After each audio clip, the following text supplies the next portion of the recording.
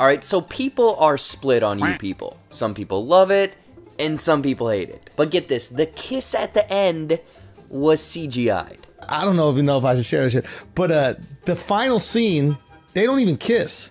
It's CGI. Get the fuck out. Swear of to. God, son. How's it CGI? I'm there, I'm watching the wedding, and I see them go in for the kiss, and their faces stop like this far. And I'm like, I wonder how they're gonna play that in the movie. Oh, they're probably just gonna cut right there. But the movie, you could see their faces come close, Wow. and then you could see their faces morph a little bit Wow. into a fake kiss. I think we can all agree that there was zero chemistry between Lauren London and Jonah Hill. Confirms the no chemistry a big yikes, weird choice going against the message of the movie? What do you think?